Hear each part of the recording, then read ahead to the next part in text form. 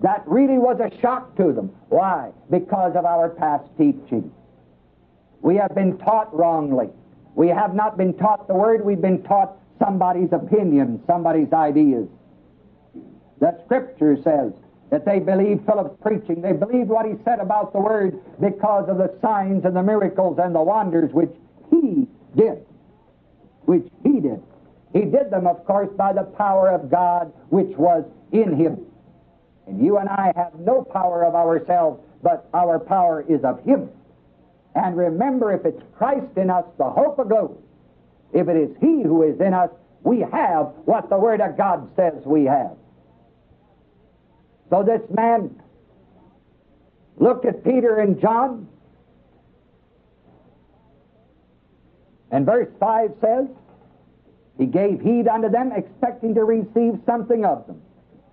Then Peter said, Silver and gold have I none, but such as I have, such as I have, give I thee. In the name of Jesus Christ of Nazareth, rise up and what?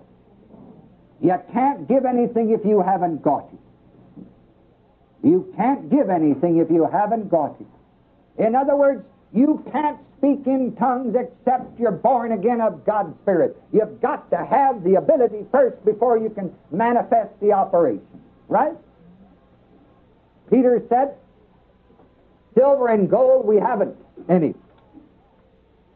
But what I've got, such as I have, the ability to minister to you, to pray with you, to help you. This, Peter said, such as I've got, I'll give to you. Therefore, he said, in the name of Jesus Christ, rise up and walk. There are all the manifestations involved in here, and I'm not going to teach on this early section. I'm simply getting you warmed up for where I want to finally get to. But tremendous truths in here. And I want to answer the question which I provoked a moment ago, and that is, that Jesus knew by revelation, word of knowledge, that the man who was laid daily at the gate of the temple, he knew by word of knowledge that that man was not to be healed because he would not believe.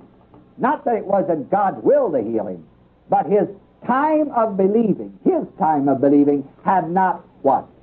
Arrived, had not come, had not gotten to that place where he could really bite his teeth into it, so to speak, and clamp onto it and know that it was a reality. But sometime later, Peter and John coming along, that's the time. I think all of us have experienced the same. Times in our lives when we have had something we'd like to believe for and we couldn't get the results immediately. We kept on believing and trying to believe and working in the area of believing or doing something. And then all at once, all at once, we just clicked. We just know, knew that we believed, and when we believed, there it was. We received. And that's why Jesus did not minister to this man. It is not that he did not love him. It's simply that he knew by revelation he would not believe or could not believe at that time, therefore he passed him by. But Peter and John one day were walking along, and Peter was filled with the Holy Spirit. The scripture says in Acts 2 he spoke in tongues. And so did John, and so did all the rest of the apostles, and so did the apostle Paul. And as I said to the class this week again, it seems to me that if any minister says he is a Christian, that he believes the Bible, then it behooves him to speak in tongues, because I know that there is no minister living who has ever had as much of the revelation from the Lord, the abundance of it, as the Apostle Paul. And if the Apostle Paul spoke in tongues, I believe that we who are ministers ought to be speaking in tongues too. We need it. As a matter of fact, in 1 Corinthians 14, it says this is a commandment of the Lord. Not only to the ministers, but to all believers who are born again of God's Spirit. So he takes him, verse 7. Peter took him by the right hand, lifted him up, and immediately his feet and ankle bones received what? And he, leaping up, stood and walked and entered with them into the temple, walking and leaping and praising who? God. Praising God. And all the people in that temple saw him walking and praising God.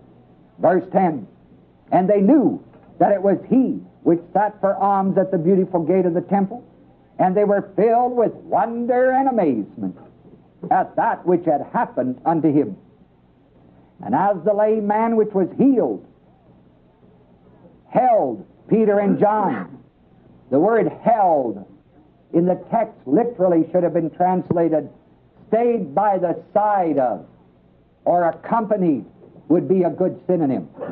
accompanied.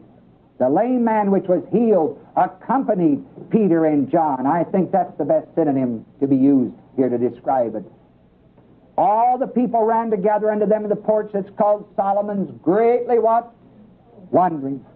And when Peter saw it, he answered unto the people, Ye men of Israel, why marvel ye at this? Or why look ye so earnestly on us, as though by our own power, or what? Holiness, we had made this man to walk. Was it Peter's holiness that made it this man to walk? Was it Peter's power? No, but it was the power of God in Peter, and Peter having the boldness to work it. The church is loaded with power but hasn't got the knowledge or the boldness to work it. The scripture says, My people perish for a lack of knowledge.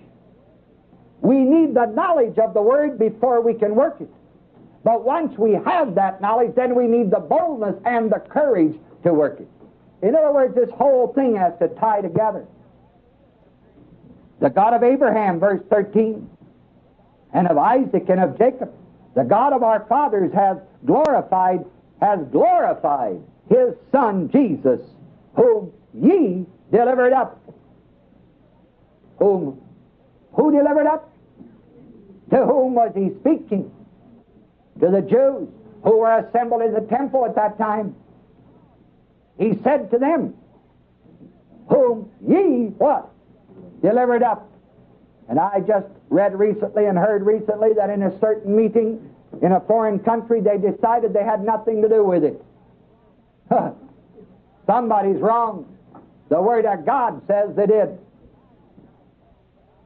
And denied him in the presence of Pilate when he was determined to let him go.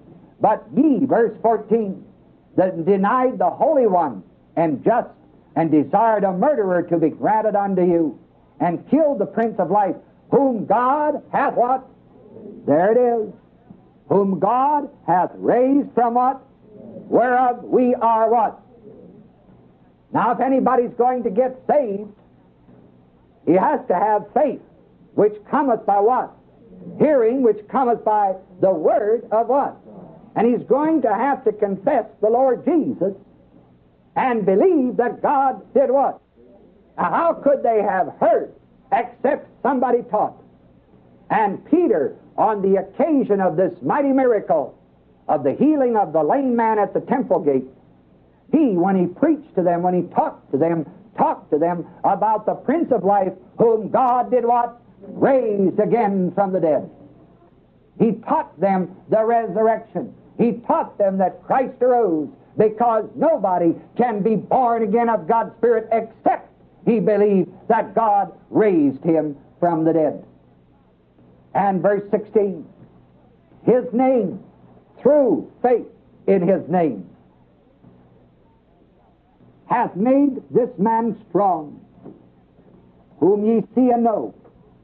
Yea, the faith which is by him, the faith which is by Jesus Christ. How did faith come? By Jesus Christ.